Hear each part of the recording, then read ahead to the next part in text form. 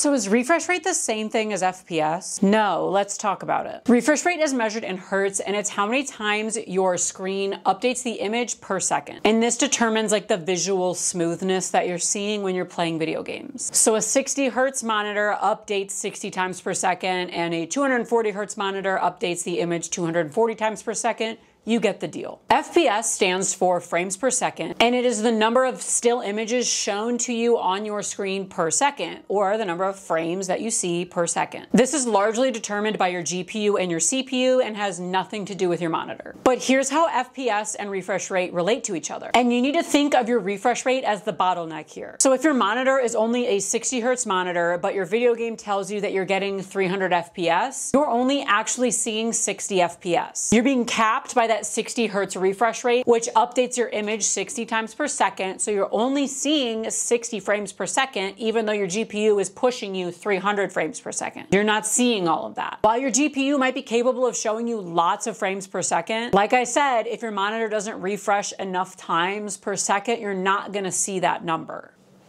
Rude that that just turned off. So no, your refresh rate does not determine your actual FPS, but it certainly determines your perceived FPS. Let me know if you found this helpful. And what's the refresh rate of your monitor?